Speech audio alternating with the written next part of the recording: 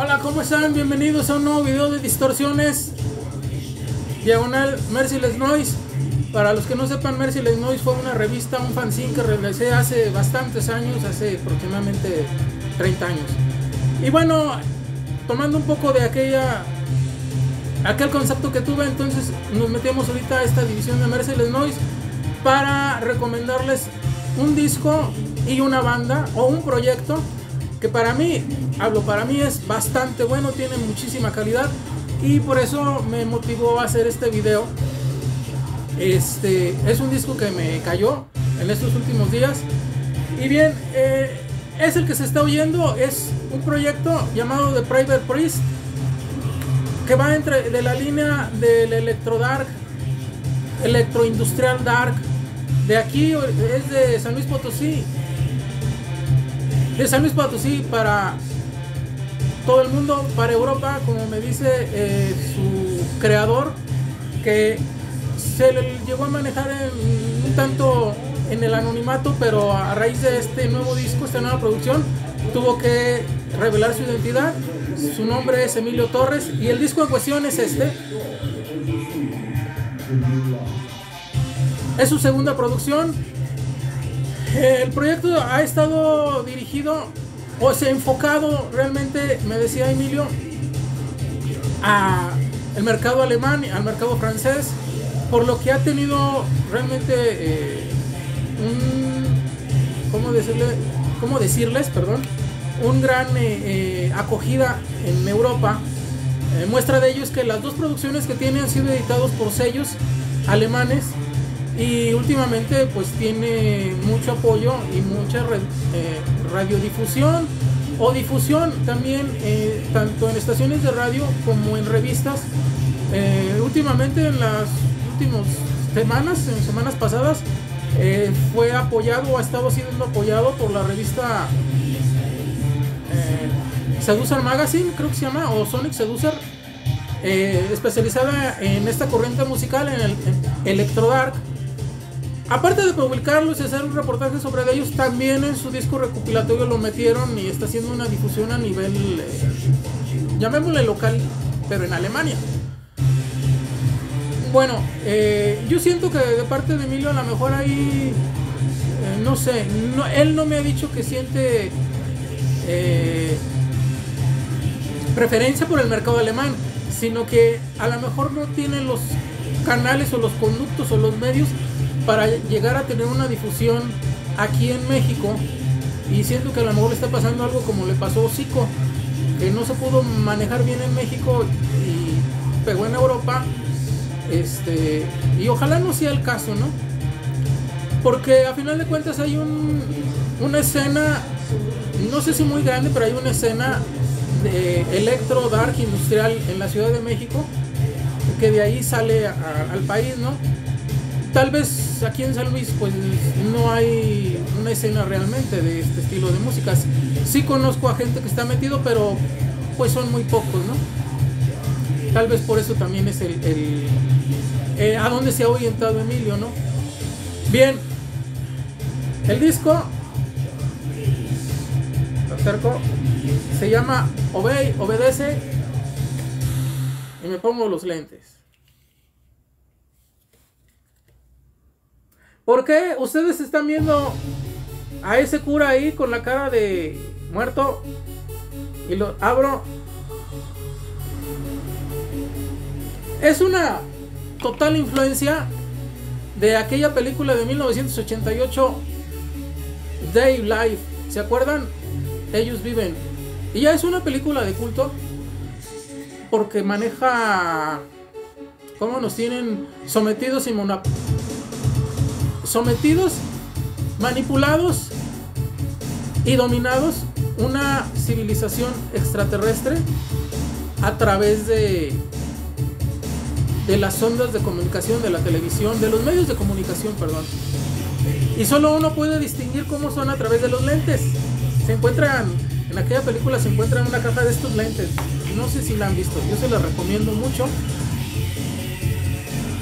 El concepto está totalmente sobre eso. No sé si estos sean fotogramas de la película o en el diseño del disco así lo hicieron. Aquí viene también toda la cúpula eclesiástica que pertenece a esos que nos dominan. Bueno, los dominarán al que se deje. ¿Lo escuchan? La línea para mí está totalmente, tiene influencias muy marcadas en la sección rítmica, en los... Eh, el nivel musical de Project Speak Forum, de OM, alguna parte por la voz a lo que llegó a ser Lieback, a lo viejo o muy material muy incipiente de Nightshade Names de su parte electrónica. Este algo de Covenant. Siento influencia de Covenant, de Covenant el electro, el industrial, no Covenant en la banda de black metal este, noruega eh, o del proyecto noruego, no, no es ese Covenant. También tiene, no sé, influencias de, no sé si lo pueda pronunciar bien, Apotigma Berserk tiene cierto mucha influencia en, el ritmo de Apotigma Berserk. No en la voz, eh, eh, Apotigma Berserk tiene la voz más, más limpia, más clara. Y aquí realmente está más densa, más pesada, más áspera. Lo que lo hace para mí más denso, más. Pues más dentro de mis gustos. A mí me gusta más este, este estilo de música. Sí, sí me gustan las otras bandas, ¿no? Pero de repente hay unas que siento medias este, light por la voz.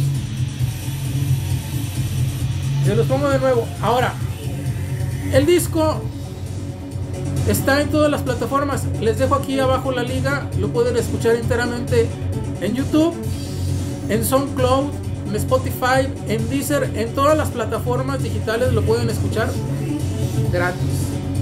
Ahí viene la liga en cada una de las plataformas para que le den like y para que si quieren comprarlo está la liga y los dirige a la compañía, a la disquera por si quieren comprar el disco. No sé el costo del disco realmente. Pero bueno, para mí está muy sencillo, ¿no? No sé si hay otra edición o este fue el que a mí me hicieron llegar. Bueno, el caso está que a escuchar todo el disco, que para mí es imperdible, todas las canciones son buenas. A lo mejor unas están mejor que otras. Eh, en concreto para mí la 1, la 5 y la 7 son un trancazo. Eh, voy a tratar de leerlas, es que no tengo los lentes, ya no veo. La primera es Consume, Obey, consume y, y obedece. La 5 es la Break the Chains. Y la 7 es They Are Coming. Está, está muy bueno el disco. Esas canciones a mí me, me gustan porque tienen, como decir, la sección rítmica muy pegajosa, pero muy ponchadora, muy pesada. Hay unas que están más lentas, más depresivas, eh, o con una velocidad media, como para estar eh, disfrutando, escuchándolo que son imperdibles, pero a mí me gustan más esas que les he mencionado porque invitan a bailar, pero como yo no sé bailar, no sé qué hacer porque tampoco es mover la cabeza. Entonces, les voy a dejar acabando el video la número 5 para que vean de qué va el proyecto. Es una banda, no es banda, es un proyecto mexicano totalmente salido, hecho aquí en la ciudad de San Luis Potosí con una calidad de producción increíble. Eh, yo he escuchado varias bandas mexicanas de la misma línea, pero cierto que a veces les falla ahí la producción. Quizás porque como lo grabaron en Alemania, fue producido en Alemania, pues hay dinero. Y hay dinero porque hay calidad. Bueno, nuevamente se lo repito, The Private Priest. Les dejo también la liga del proyecto y la liga de mi amigo Emilio Torres, que es el, el, creador de este proyecto que estaba hablando con él. Nunca ha tocado en vivo, entonces se pueden meter y comentarle y decirle que se anime a tocar en vivo estaría muy bien para que montara un show. Estuvimos hablando de eso, este, eh, de sus conceptos, de la idea que tiene. Y pues estaría bien de que si hay gente que le gusta esta línea y apoyarlo, pues cuando menos apoyarlo comentándole, sugiriéndole, diciéndole que se anime a, a tocar en vivo. Y quién sabe, tendríamos, pudiera ser el próximo hocico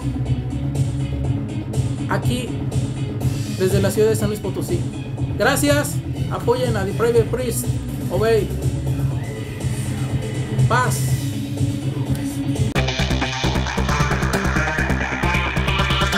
Because when the Prince of Darkness gets in here, he'll destroy everything in your life.